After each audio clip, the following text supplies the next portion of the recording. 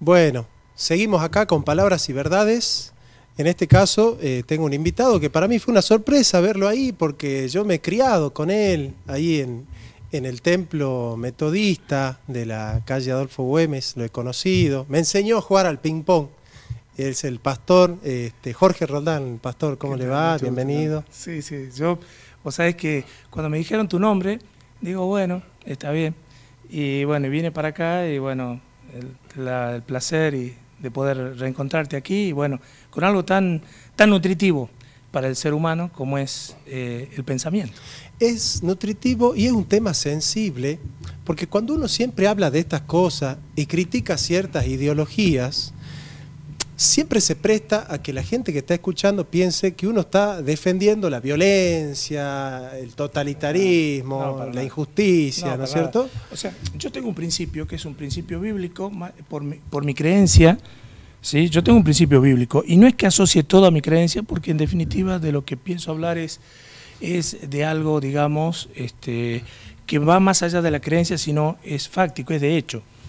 Eh, está en Proverbios 12.10, que dice lo que vos hablabas de justicia. El justo, dice Proverbios 12.10, el justo cuida de su animal. El malvado lo maltrata. Entonces, la Biblia expresa justamente eso. El justo cuida de su animal y el malvado lo maltrata. Básicamente es eso. Ahora, eh, yo justo estuve escuchando la, porción anterior del programa, y ve que se dijeron cosas que no son reales. Entonces me gustaría explicarlas. No, ya no es de acuerdo a lo que yo pienso, sino es una realidad. Se dijo, por ejemplo, que las plantas no necesitan de los animales, se lo dijo textual, lo cual no es verdad. Si no existiesen las abejas, las abejas son animales, no existiría, la no existiría la polinización. A ver, los insectos producen polinización.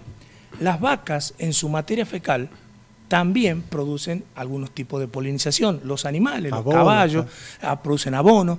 Es decir, estamos en un entorno... Es un ecosistema. Donde es un ecosistema. Vamos a hablar si está alterado o no está alterado. Pero decir que hay una especie, un, sistema que son los vegetales. Totalmente autónomo. totalmente autónomo, que no necesita ni de los seres humanos, ni de los animales, no es veraz.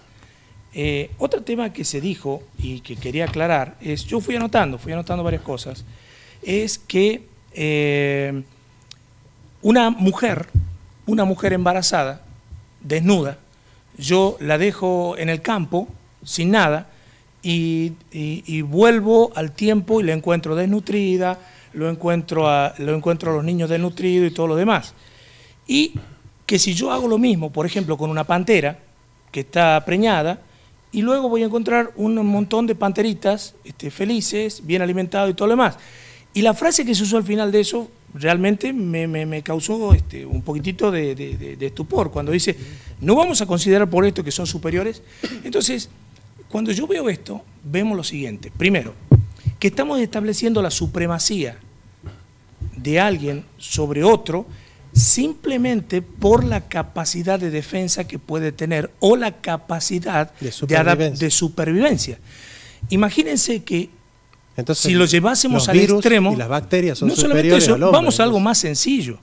¿Qué pasaría con el hombre y la mujer? Diríamos que el hombre es superior a la mujer porque teóricamente tiene mayor capacidad de, defensa. Sobrevivir en una De sobrevivir en una selva que una mujer.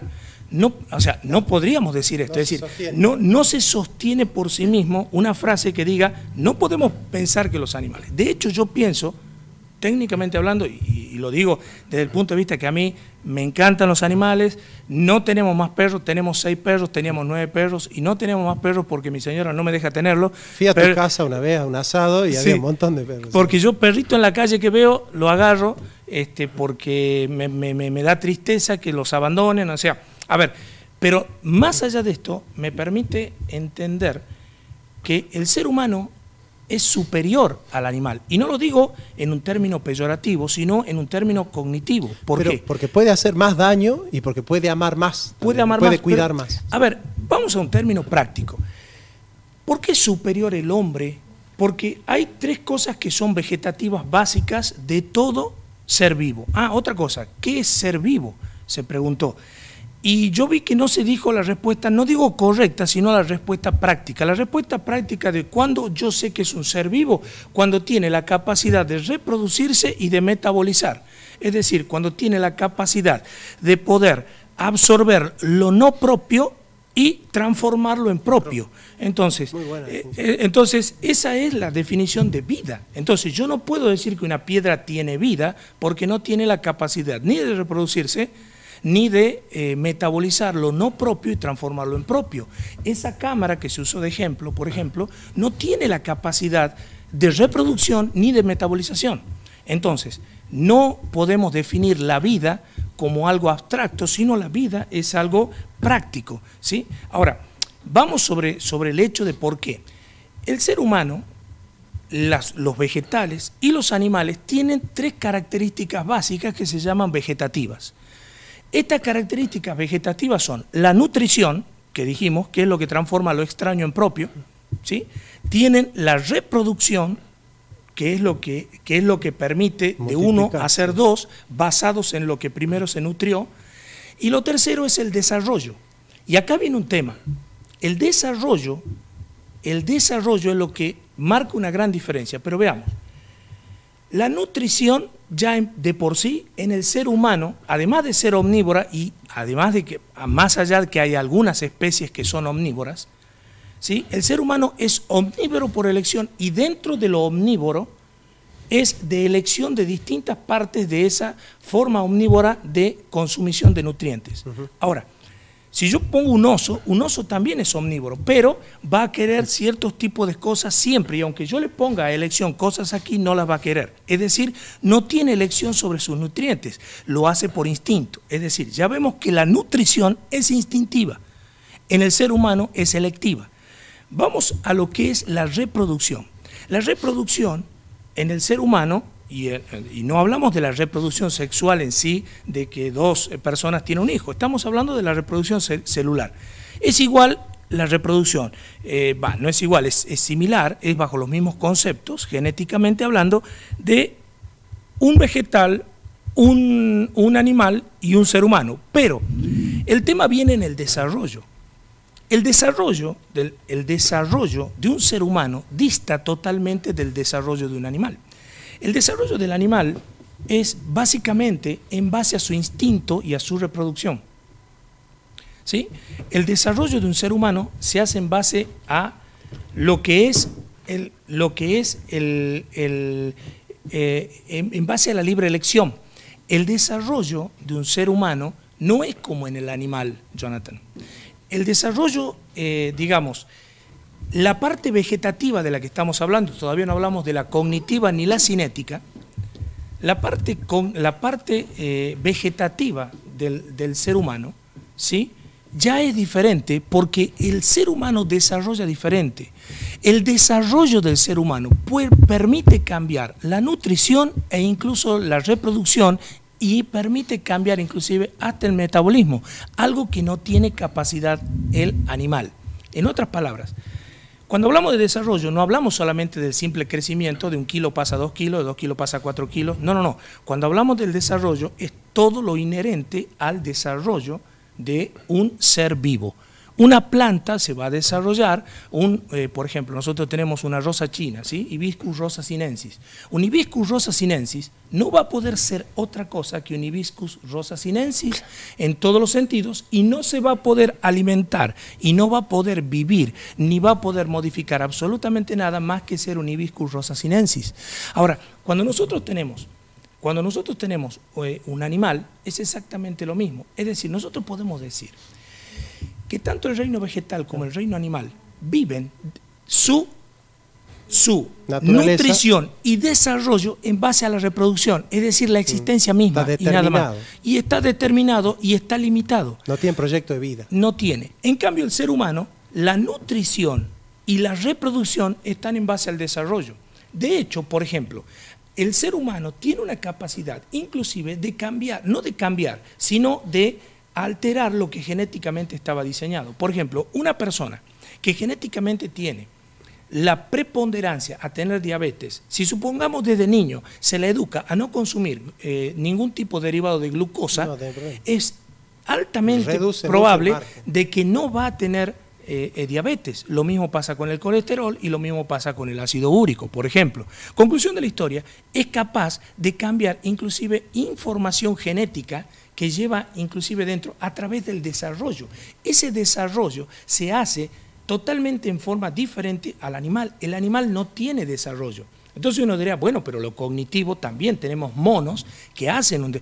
El tema es, el ser humano hace un desarrollo cognitivo en base a algo que es fundamental y es la libertad y no tiene, digamos, no tiene límites el desarrollo que tiene y no se basa en estímulos. El procesamiento cognitivo de un animal, y digamos un animal, el chimpancé, el que más, digamos, inteligencia podemos tener hasta este momento, el chimpancé tiene un desarrollo cognitivo que es basado en estímulos. Es decir, si yo no lo estimulo bajo ciertas formas, ese animal no me va a tener respuestas cognitivas de cierto sentido. En cambio, el ser humano, de solo estar, está en la cama, piensa algo y pasa a desarrollarlo más allá que no haya tenido un estímulo en ese sentido. Entonces, Decir siquiera que el animal es igual al ser humano es simplemente no llevar a la no, no mirar lo que es estrictamente la realidad de las formas biológicas que estamos hablando. Es que yo ya te doy, Dana, este, porque también me, escucha, me interesa escucharte, porque vos tenés una visión también más política de la cuestión, que es muy interesante escuchar. Eh, yo noto que detrás de estas ideologías, de fondo hay como esa necesidad de tener misericordia de la víctima, pero a través de motivaciones y de fundamentos inadecuados.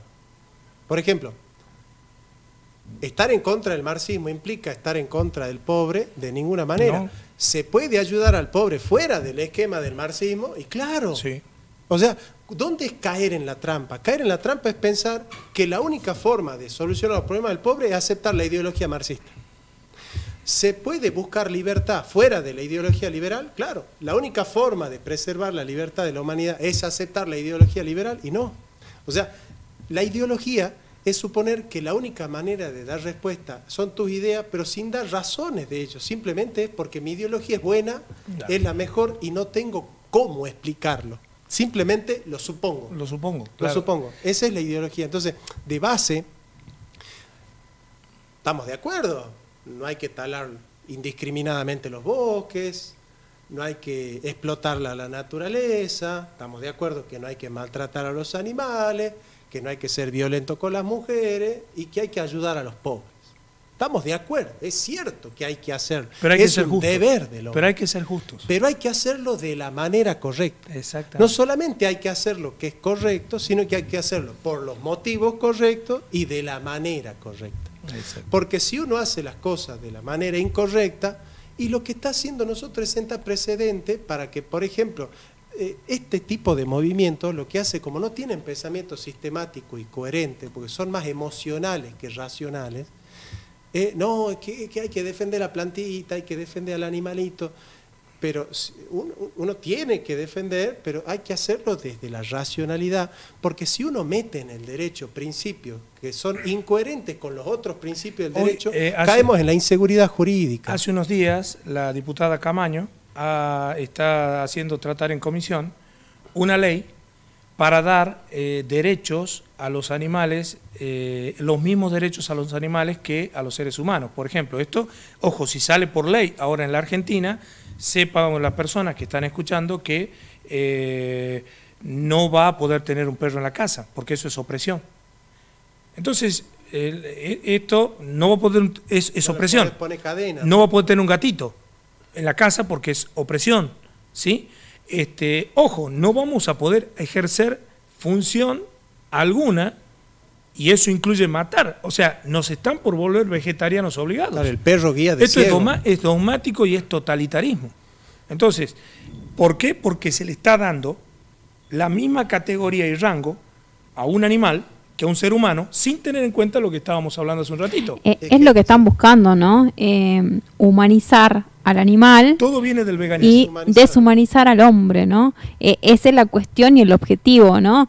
Eh, eh, y todo está ahí, ¿no? Aborto lo mismo, deshumanizarlo porque no es una ideología de género. El que se autopercibe elefante, digamos, eh, tiene la misma categoría de todo el, el, abecedario que tenemos del LGBTIQ ¿no? Eh, y, es lo que tratan de hacer, ¿no? Eh, a la máquina hacer la persona, ¿no?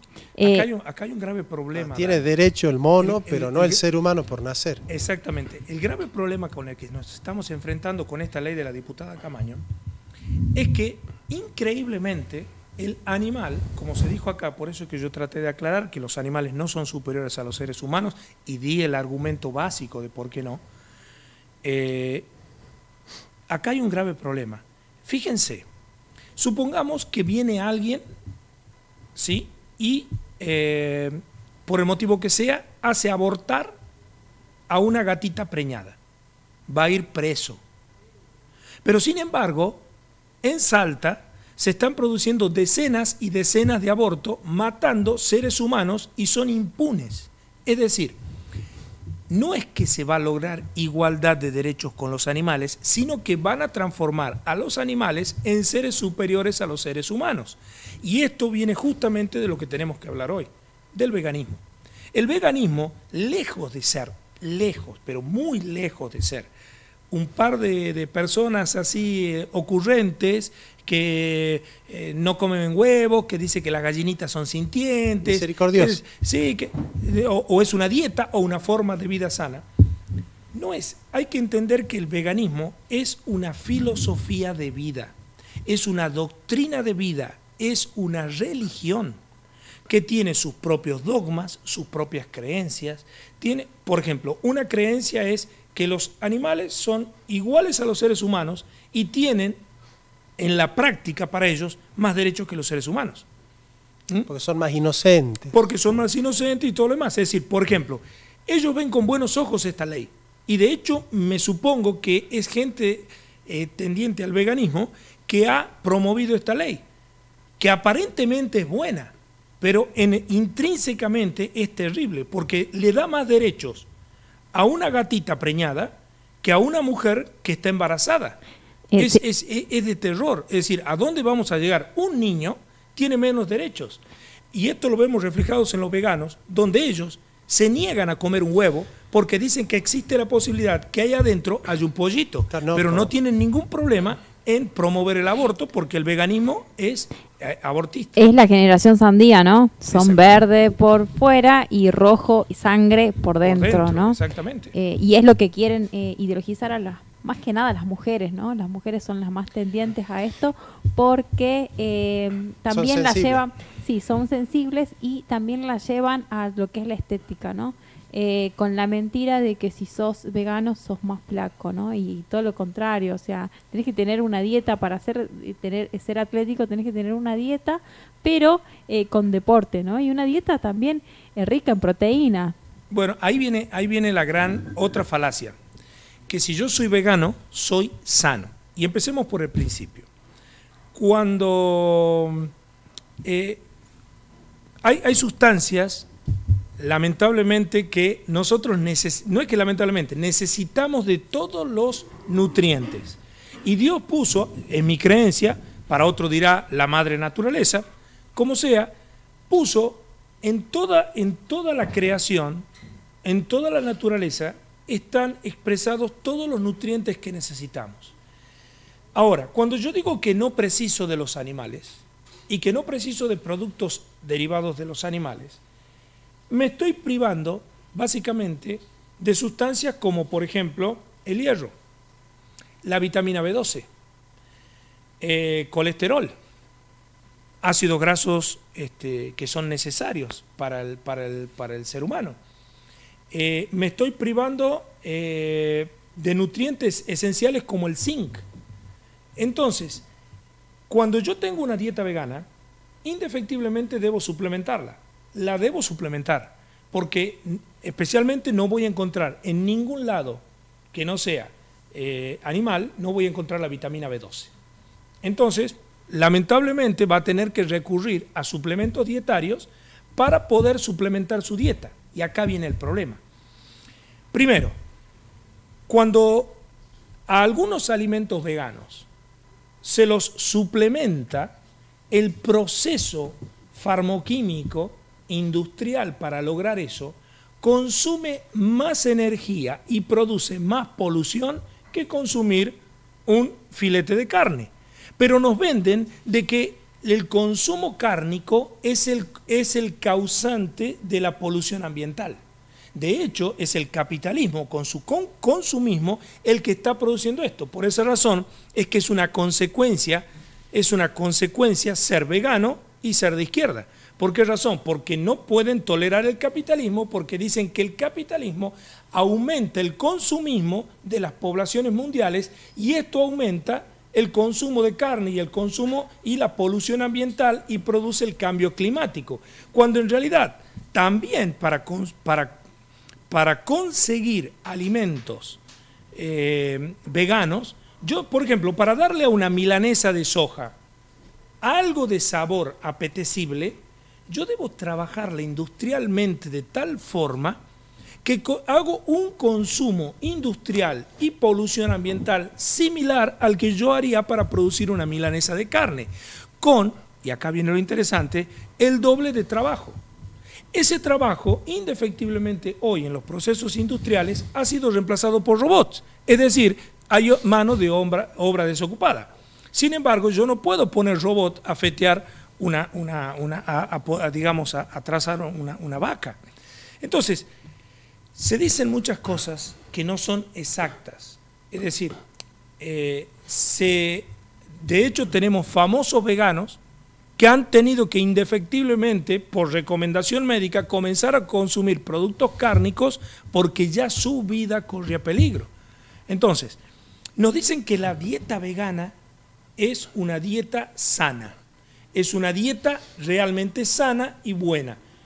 A ver, si yo no consumo grasas, hay que entender que tenemos cuatro vitaminas, la vitamina A, la D, la E y la K. Estas vitaminas son liposolubles. Como su nombre lo indica, son vitaminas que se disuelven en grasas. Si yo me abstengo de consumir grasas, que normalmente vienen en las grasas animales, también indefectiblemente voy a recibir una baja cantidad de vitamina A, D, E y K. Entonces, ¿qué es lo que hago? Lo que hago es, ah, bueno, voy y las compro en la farmacia. Y acá viene la gran mentira.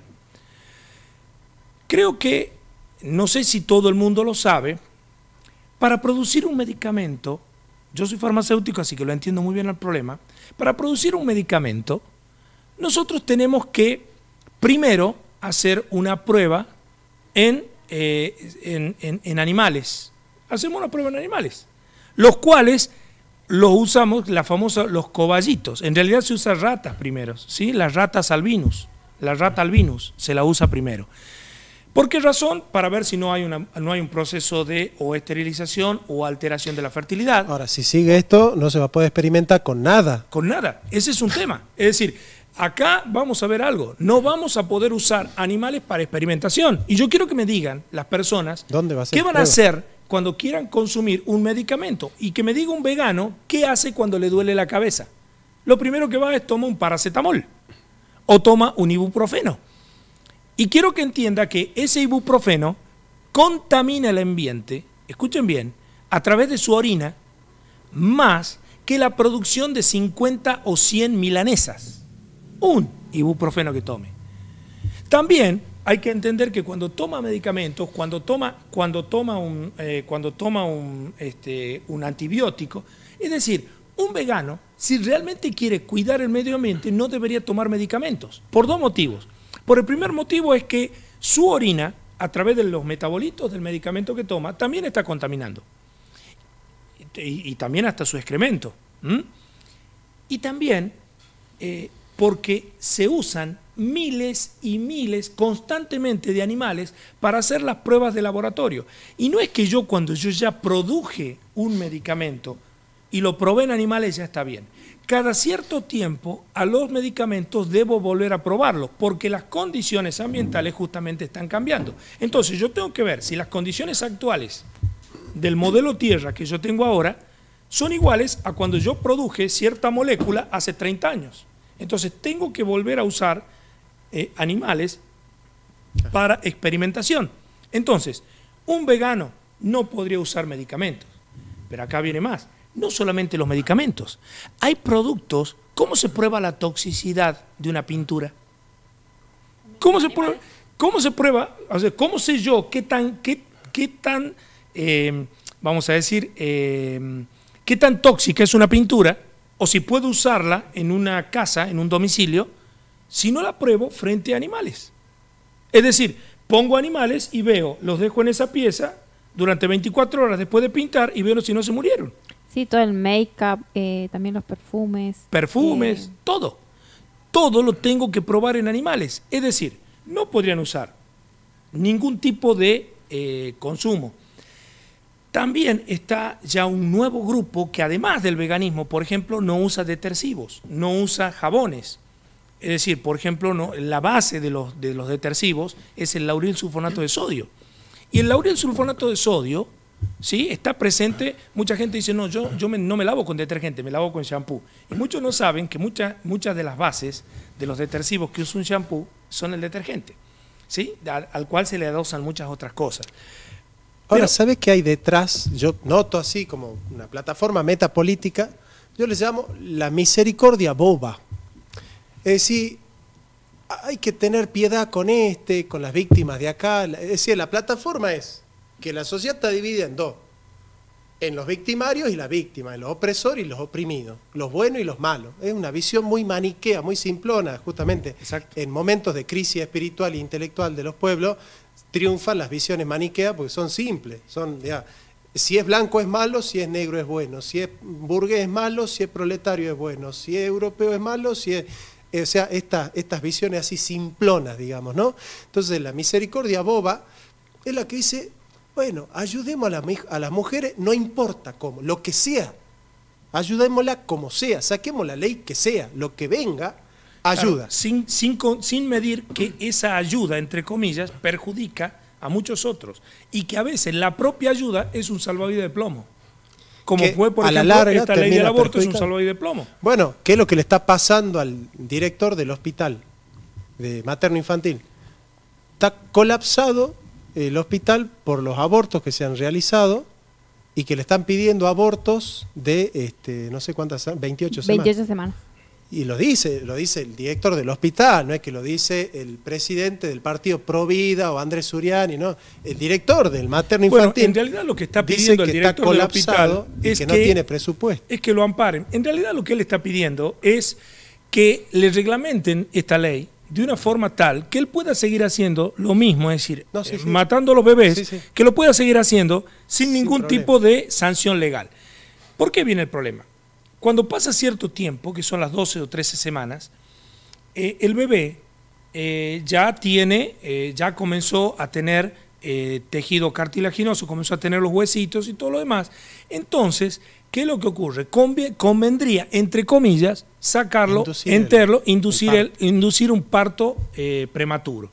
Entonces se hace a través de una droga que es el misoprostol, que es que se usa como caramelo y no tienen idea muchas este, que lamentablemente puede tener gravísimas consecuencias para la salud de la mujer e inclusive puede llevarla a la muerte. ¿Por qué? Este, estamos hablando porque eh, no se hace bajo el, uso de eh, profesionales ya. Es decir, lo venden como que lo, lo, utilizan como caramelos y creen que es la panacea para el, aborto. El feminismo ya lo venía repartiendo antes. Lo venía repartiendo sin receta, sin prescripción médica, sin atención farmacéutica, sin ningún tipo de control y era inclusive con el aval tácito del gobierno porque a pesar de las denuncias nunca se hizo absolutamente nada porque eran este, promociones públicas, las hacían a través de Facebook y todo lo demás. Creo que lo siguen haciendo. Es decir, le dicen, vení, tenés aborto, tomate, damos la pastilla. Se la regalan inclusive. Ahora, el problema pasa que una vez que nace la criatura, nace la criaturita, ¿sí? porque es, prematuro, eh, a las 12, 13 semanas, esa criatura nace con vida y que entonces ¿qué hace el médico? Si lo mata es un asesino. Si lo mata es un asesino. Si no lo mata, es abandono de persona. Son dos delitos tipificados en el Código Penal. sí, claro. si lo mata, es un asesino. Y si no lo mata, lo abandona. Es un abandono de persona, lo cual es tipificado. Y no está cumpliendo con el derecho de la mujer. Exactamente. Conclusión del no mamá. Es más, si llega a ser una mujer la que nació, peor todavía. Entonces, ¿qué, ¿qué es lo que ocurre? El médico se encuentra ante un vacío legal que lo perjudica, porque si se entera uno de los familiares, le puede hacer juicio y le puede costar carísimo. Entonces, para evitar esto, ¿qué es lo que hace? Bueno, listo, más allá de las semanas que sea, por eso dice con 28 semanas. Entonces, ¿qué tiene que hacer él para evitar esto? Para evitar el abandono de persona o el asesinato. ¿Qué tiene que hacer? Listo, tiene que entrar con la legra.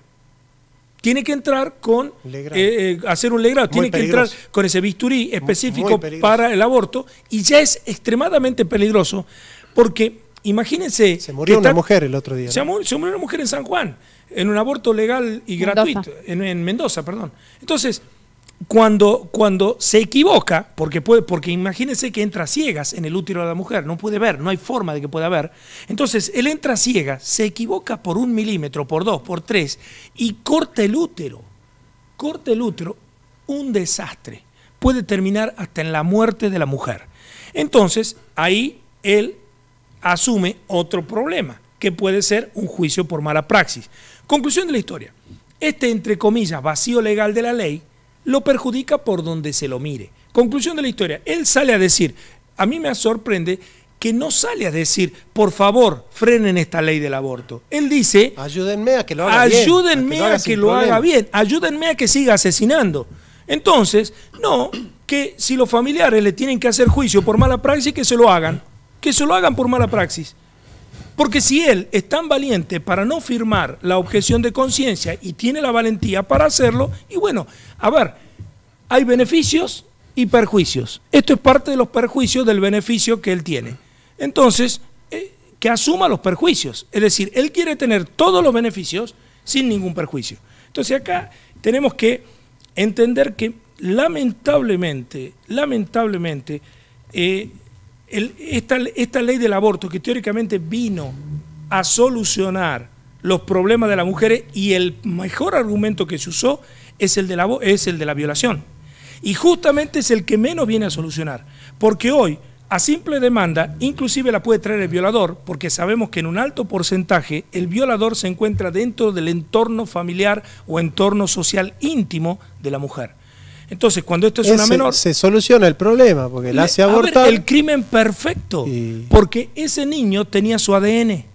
Ese niño era, la, prueba, de su delito. Es el crimen perfecto. Bien, Gracias, Jorge, por haber venido. Eh, queda mucho por tratar, es un tema espectacular, él lo hace de la mejor manera, así que no va a ser la primer, ni la primera ni la última vez que él venga, así que, bueno, gracias. Bueno, yo cerrando esto, el primer bloque ¿no? del animal, del derecho animal, bueno, eh, realmente hoy es el Día de los Animales y, tenemos que respetarlos y cuidarlos, ¿sí? como corresponde y a las mujeres o, ciudadanos, digamos, que quieran ser veganos tienen que informarse muchísimo, ¿no? Porque eh, atrás de este veganismo hay una historia muy larga, ¿no? Y un fin eh, muy macabro, así que bueno. Eh, gracias por la invitación. No, gracias, gracias a ustedes dos. Nos vemos, estimados amigos, en la próxima con más filosofía y más metapolítica.